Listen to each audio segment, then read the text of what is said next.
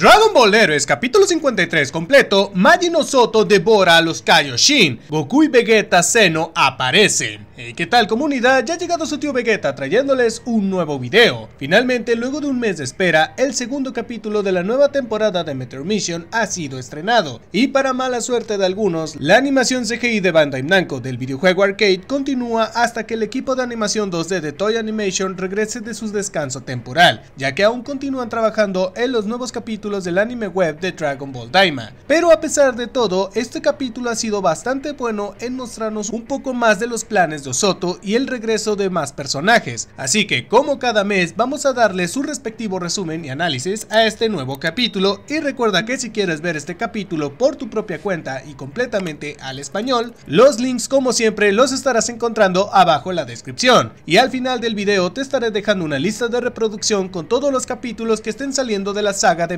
Mission por si te has perdido algún capítulo. Así que sin más que decir, comencemos. En el capítulo anterior vimos que Gohan y Piccolo han sido devorados por el terrible Majin Soto y Goku y los demás tuvieron que huir del lugar luego de ver en el peligro en el que estaban. Este capítulo se titula Cacería progresiva de dioses, dos situaciones bélicas entrelazadas. El capítulo daría inicio con Vegeta molesto con la Kaioshin del tiempo por haberlos obligado a huir de la batalla, pero Krona le dice que no tenían otra opción, pues luego del torneo del espacio-tiempo aún no habían restaurado sus energías y si peleaban en ese estado contra Osoto lo más seguro es que serían devorados Goku está bastante confundido y le pide una explicación a Krona de quién demonios era ese monstruo, a lo que la Kaioshin del tiempo les explica acerca de Majin Osoto y que es un cazador de dioses que llevan años intentando atraparlo, pero no imaginaban el inmenso poder que ahora él posee. Trunks deduce de que Osoto debió de devorar a mucha gente, pues este vio que cada que absorbía a alguien, este adquiría todas sus habilidades, algo que quedó mejor demostrado en el manga cuando al absorber a Piccolo utilizó sus habilidades para poder devorar a Gohan. La Kaioshin del tiempo le dice que no hay que perder más el tiempo y que habrá que recuperar las energías pronto para poder ir contra Osoto. Hacemos un cambio de escena en el planeta sagrado donde vemos que el anciano Kaioshin está en problemas, pues Osoto ha llegado y a su lado están Shin y Kibito, los cuales vemos que ya han sido devorados. El anciano Kaioshin atemorizado pregunta qué está haciendo Osoto en el planeta sagrado, a lo que este le responde que ha venido a consumir también su poder. El anciano está confundido y le exige saber qué les ha hecho a Kibito y a Shin, pero Soto les contesta que estos no son más que formas transformadas de su cuerpo dividido. Osoto explica que ha estado volando en diversos tiempos y espacios, conociendo a distintos tipos de personas y a cada uno ha devorado consiguiéndose llevar todas sus habilidades. Y en eso, en una demostración de su poder, se transforma en la forma final de Baby, diciendo que este sujeto tiene muchas habilidades asombrosas. En eso, de manera sorpresiva, hacen aparición Goku y Vegeta Seno, los cuales estaban patrullando. Vegeta se sorprende pues no esperaba que Baby estuviese involucrado en esto. Baby comenta de que le sorprende ver a Goku y Vegeta de otro espacio y tiempo. Goku está sorprendido por saber que Baby conoció a los otros Gokus, pero la actitud de Baby es tan extraña que Vegeta se percata de que algo no cuadra y que Baby se comporta diferente. El enemigo les afirma que en estos momentos los devorará a ellos también, pero Goku y Vegeta liberan su máximo poder, demostrando que luego de la pelea del espacio y tiempo ahora se han vuelto mucho más poderosos. Vegeta da inicio a la pelea tomando la ventaja ante Baby y formando equipo con Goku, ambos parecen tener la situación bajo control, pero en eso Baby los aleja y vuelve a tomar su forma real ante los ojos de Goku y Vegeta. Osoto se presenta ante ellos nombrándose la persona que tiene en sus manos el poder que oscurecerá todo y que algún día tendrá el universo entero en su estómago. En eso trae a su lado a Shin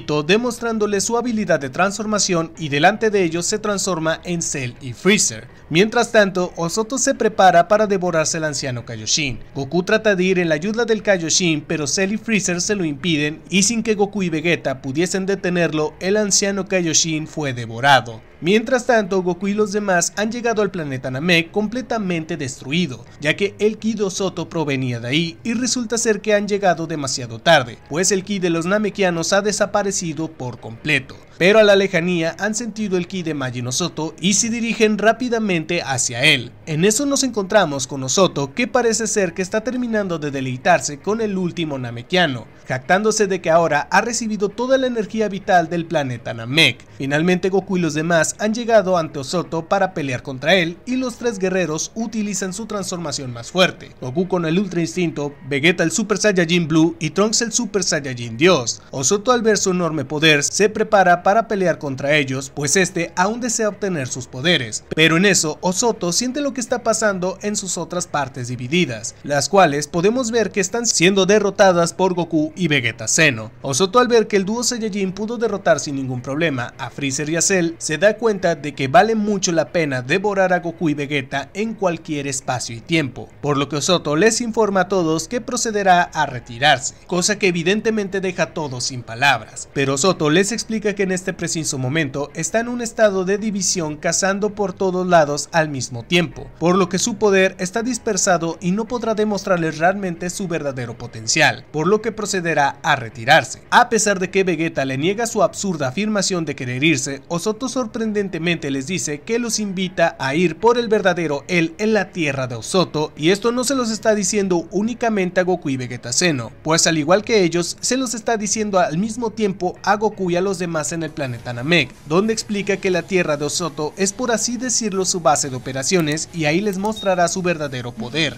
Goku está asombrado por saber que el enorme ki que tiene Osoto en este momento no es su poder real. Osoto les dice que como está dividido deberá de unirse para que puedan tener una pelea verdadera, además de que si realmente no quieren ir en la ayuda de sus amigos que ha absorbido. Krona le dice que es ahí entonces donde los tiene a todos. Osoto, únicamente burlándose de ellos, les dice que si realmente les interesa, entonces los estará esperando en el planeta de Osoto. Pero antes de irse, les dará los detalles de la ruta a la tierra de Osoto y sin más que decir, ambos Osotos se despiden y desaparecen en el acto, dejando atrás una única carta y el capítulo ha llegado a su fin. Este capítulo tuvo una que otra referencia y además tuvo nueva información respecto al poder de Osoto. En primer lugar, tuvimos la referencia del primer encuentro entre Vegeta y Baby, donde Vegeta le aplicó lo que le hizo Baby en su primer batalla. Otra de las cosas que nos hemos podido percatar es que Osoto ha mencionado de que no solo está en esos lugares en estos momentos, pues además de estas dos versiones de Osoto, también está dividido en otras partes del espacio y tiempo, consiguiendo el poder de otros dioses, villanos o guerreros. Pues al ver que ahora también tiene el poder de Baby, Cell y Freezer, no sabemos a qué otros guerreros ha logrado conseguir. Incluso no se sabe si Osoto ha conseguido